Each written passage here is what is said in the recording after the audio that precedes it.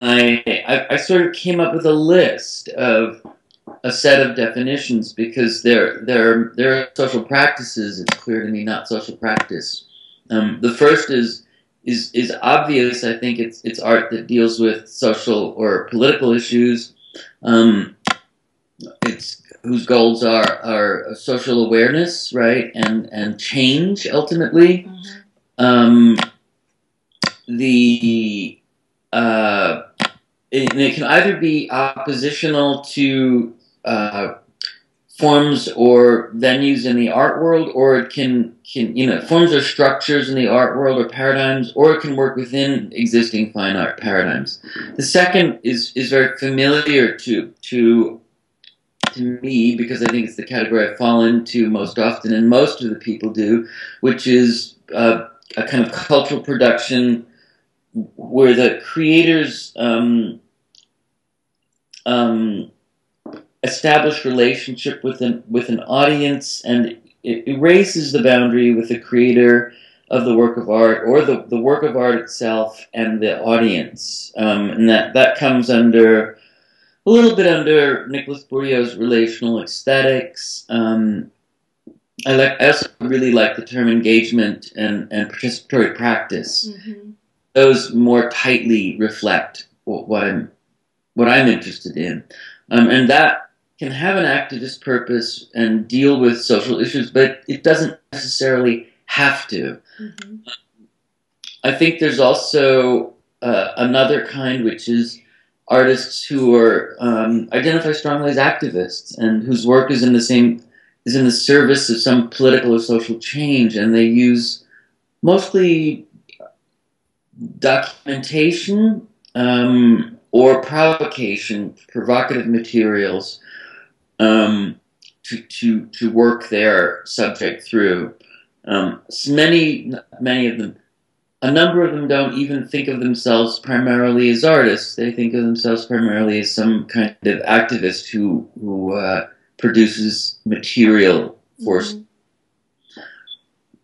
the the other there's two other categories that, that I realized, which is artists who work in social space and work on site. A lot of architects and urban planners think of themselves as being in a form of social practice.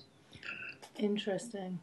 Yeah, and, and also artists who work with social media, um, which is, you know, when I thought about it, social media is actually a different form of social space, and they use they use media to create um, primary, well, primary, to create relationships with others using that media, often using role playing, um, appropriation, art, you know, classic art strategies, but also very uh, popular culture strategies.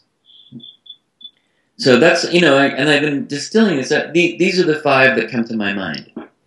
I'm particularly interested in where you feel that you and Fallen Fruitful in that quintet? We, my work and Fallen Fruit's work really is in a in relationship to participation. Mm-hmm. Um, and creating the the work of art is always in a service to some kind of engagement, um, in, enrolling, some kind of participation, you know, creating some kind of engagement with others, and it's extremely varied.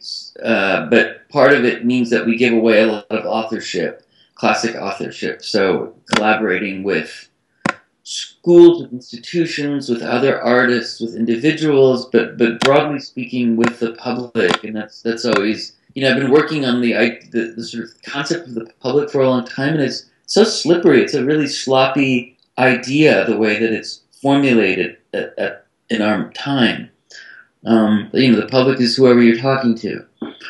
Um, so the, the the classic piece that I would refer to in Fallen Fruit is the Public Fruit Jam, where we really sit and, and we think of it really as one of our iconic pieces, where we we sit with a group of people. We are not experts. We try. You know, we've done it a million times. we still resist kind of becoming the, the jam experts in a way. Um, we sit without recipes. We we work. A jam is very simple to make, so you know we we know we know that it's basically fail proof.